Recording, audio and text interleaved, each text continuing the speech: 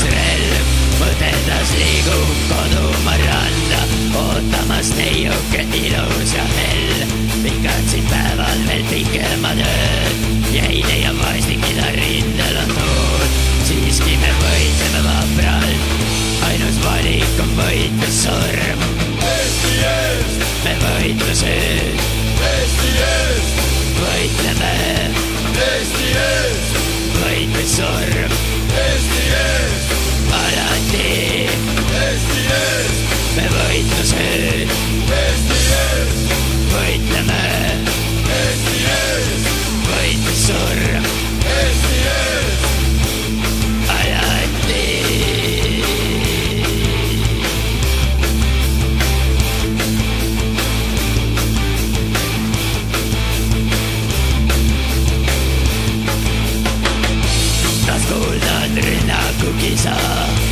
Reserves manes